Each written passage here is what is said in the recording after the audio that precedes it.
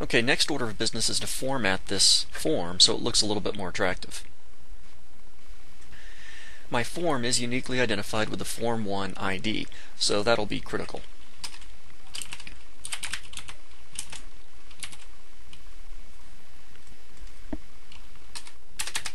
I'll set the width of this form to about 400 pixels.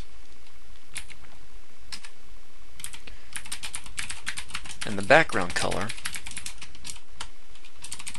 a light shade of yellow. There we go.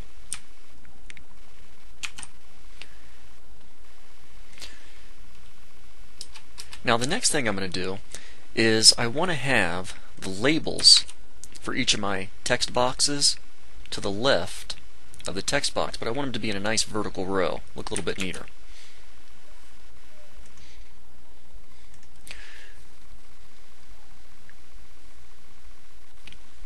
The labels in my form have a set width of 110 pixels. This will help to ensure that the text boxes to their right line up nice and neat in a vertical line. The form labels are going to float to the left, which means things that follow them, their text boxes, will show up on the right side. And each label is going to clear a previously floating object. I want, I want the text boxes to show up on the right, but I don't want the other labels to show up on the right side. And the input, the text boxes, are also going to have some margin bottom of 5 pixels and width of 150 pixels. This gets my form looking like this. All of my labels are 120 pixels wide regardless of how much text is in there. And since the inputs are showing up on the right side of the labels, labels are floating to the left, they'll all line up nice and neatly at that 121st pixel, so to speak. So now that we've got this structured, I notice I'm not getting my city and address to activate on click. This must mean that my for attribute in my label tag doesn't match up with the ID attribute in the input tag. Let me go ahead and fix that.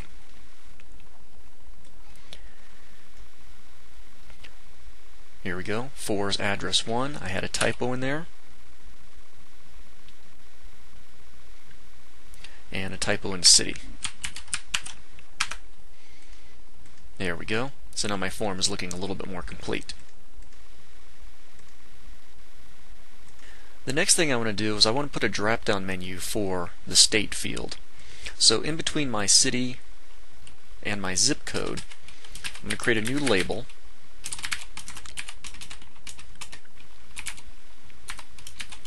for state.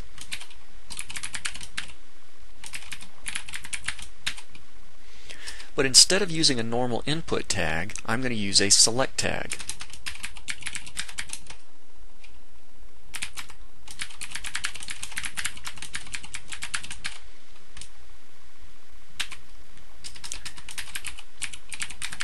Now the select tag will create a selection menu, or drop down menu, menu if you prefer, and within the select tag I'm going to have a series of options. There, I've actually got uh, options for each of the 50 states. So for each of these, there's an opening and closing option tag. Each of them has a value, and this is important each of the states or each of the items or each of the options within my selection menu needs a unique value. If this is going to be delivered to a script, it would be the name of the select tag, in this case state, state equals whatever the value a person chose. So if somebody chose Alabama, the script would receive state equals AL. So the item in the value of an option doesn't really need to be as human friendly. It's something that a computer program or script would read. The text in between the opening and closing option tags, though, is what a person would see. And this is what I have on my web page now. For state, I've got a drop down menu where a person can choose from any of the 50 states.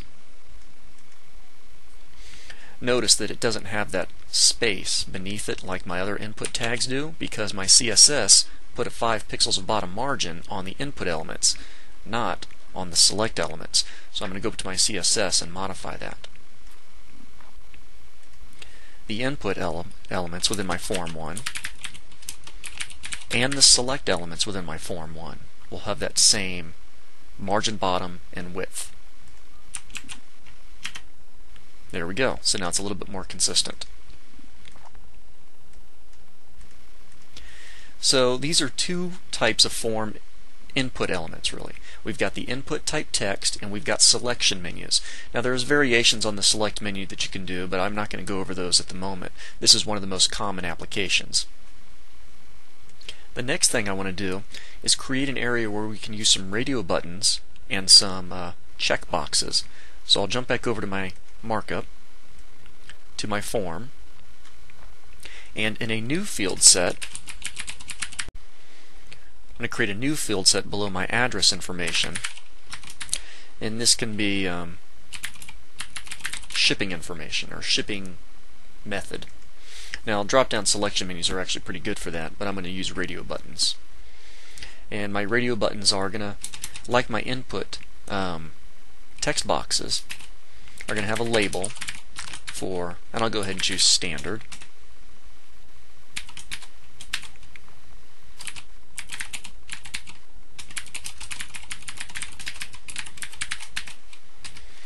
and I'm going to do an input type equals radio.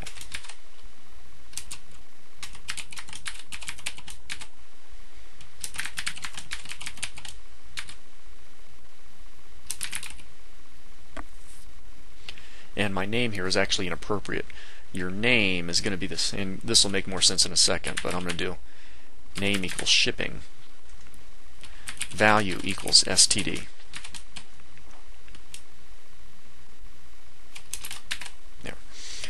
So a couple differences. Radio buttons are those little circles that you can click on and choose one of several. I'll have a label for it and then I'll actually have the radio button. Input text boxes, it's good to have the label to the left of the text box. That's the, that's the norm and it's pretty familiar. Radio buttons and check boxes are a little bit different. I'm going to take my input and put it in front of my label. There we go. And while I'm here, let me go ahead and create a second radio button. You never, you're well, not never, you'll rarely just have one radio button.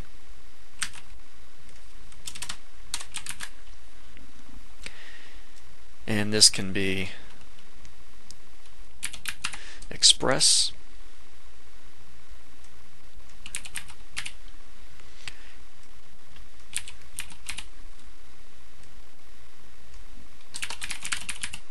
There we go. So first I'll test it, then I'll come back and explain a little bit more. Ah, now I've got some formatting issues because of those previous items up there, so I'm going to make a couple little changes.